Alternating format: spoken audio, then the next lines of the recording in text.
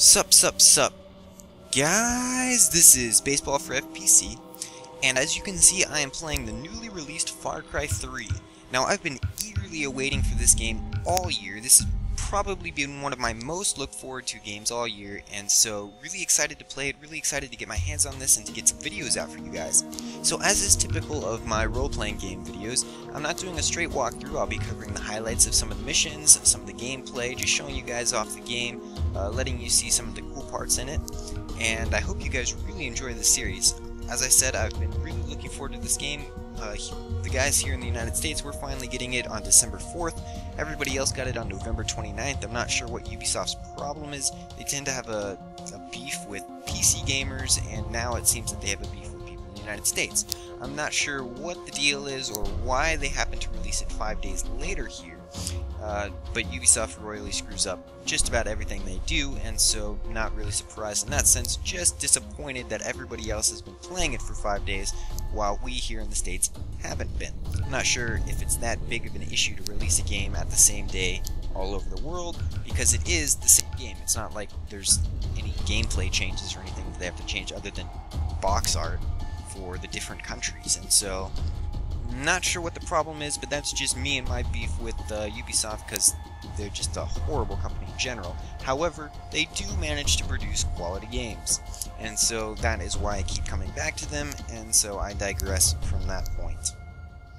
Really been looking forward to this game, as I mentioned. It's a beautiful looking game. If you've seen any pictures, any gameplay, this game looks stunning.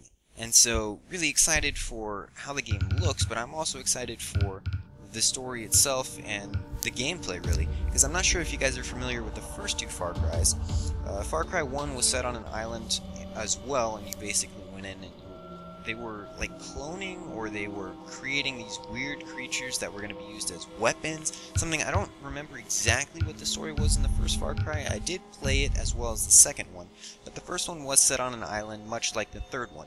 The second one Far Cry 2 strayed away from the island location and took you to Africa, a war-torn African country, where you played as a gun for hire and you basically sold yourself out to the highest bidder, you carried out contracts, you, contracts, you killed people, and your entire mission was to kill um, one guy, I forget his name, and he basically started the war there, and uh, he set up all the weapons, he was smuggling weapons in, your job was to kill him. So Far Cry 2 had a great story setup, it had great graphics, except that it was just horribly executed. The gameplay was stale, it was boring, it was really repetitive, you basically did the same thing the entire game, and after 20 hours of doing the exact same thing over and over and over again, it gets really boring, really monotonous, and so Far Cry 2 wasn't that great of a game because of how repetitive it was. It's too bad because it had everything else except for the gameplay down perfectly.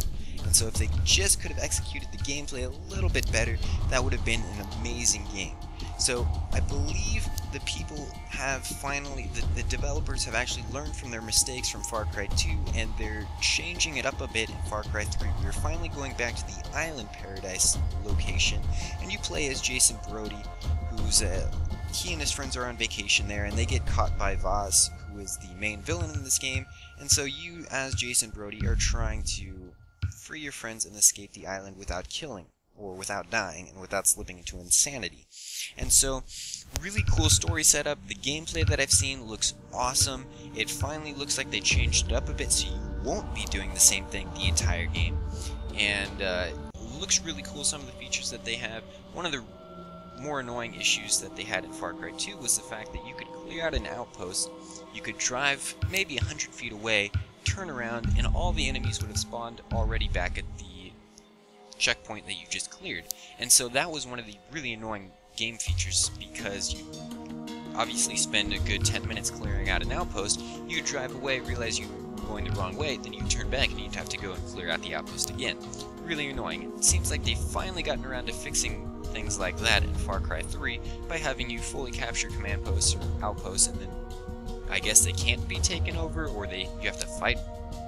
You have to like defend them from being taken over again. Whatever the case, it seems like they're changing some things up. They're fixing some things that were more annoying in Far Cry 2. So really appreciate the devs who are actually taking the time to fix what went wrong in Far Cry 2.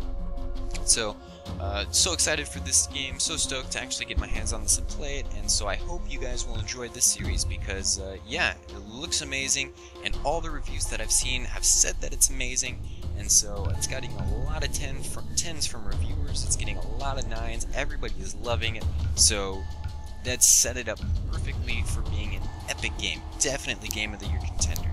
So, yeah, I hope you guys enjoyed this introduction video, and stay tuned for the videos that are to come. Thanks for watching, guys, and until next time, later.